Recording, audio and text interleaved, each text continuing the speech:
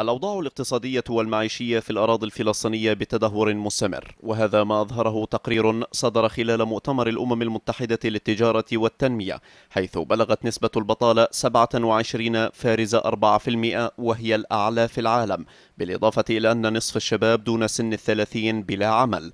أرقام عزاها مختصون لأسباب عدة. الاحتلال الإسرائيلي والإجراءات الإسرائيلية والقيود الإسرائيلية المفروضة حدت من نمو الاقتصاد ومن نمو الأنشطة الاقتصادية بالإضافة إلى الانقسام الفلسطيني الفلسطيني وتعطل التوظيف في القطاع العام أدى إلى ارتفاع معدلات البطالة. وأمام الواقع المعاش أضحى تفكير معظم الشباب بالسفر أو الهجرة بحثا عن فرصة للعمل. أحمد أحد هؤلاء تخرج من كلية الهندسة منذ ستة أعوام وطوال هذه المدة لم يجد فرصة واحدة للعمل. هي أوراقي جاهزة للسفر وتأشيرات وإقامات وبنحاول نهاجر طبعا. وبنحاول نطلع على أي مكان يقدرنا ويعطينا عمل ويعطينا فرص عمل.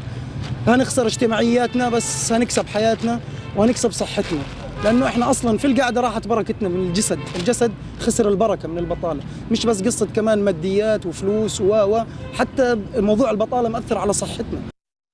ويعتمد نصف سكان غزة بحسب إحصاءات على المساعدات التي تقدمها المؤسسات الإغاثية والأممية والتي حذا بها الوضع مرارا وتكرارا إلى التحذير من أن القطاع لن يكون صالحا للعيش الأدمي بحلول عام 2020 تأكيد للمؤكد هذا ما حمله تقرير الأمم المتحدة حول صعوبة الأوضاع الاقتصادية في الأراضي الفلسطينية.